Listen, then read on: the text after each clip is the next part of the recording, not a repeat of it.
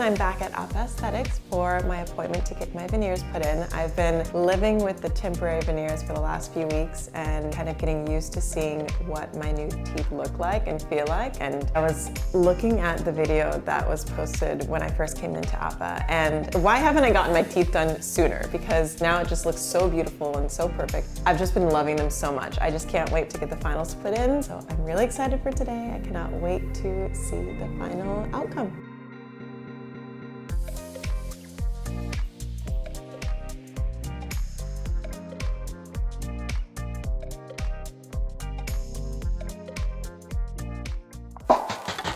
I am here at Apa Aesthetics for my final appointment. Yesterday I had my veneers put in and I am so happy. They just look so natural and it was really honestly so painless, which is something I was really nervous about because my teeth can be really sensitive at times, but I felt great last night and I'm just so excited to see Dr. Apa again to tell him how much I love my smile. It just really makes me so happy. Oh my god. they look really great.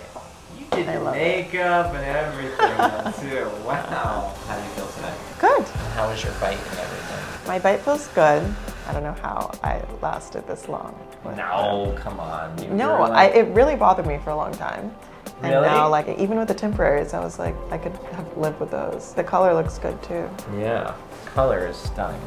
I want you in for cleanings three to four times a year. Mhm. Okay? Yay. Congratulations. Thank you so really much. look great.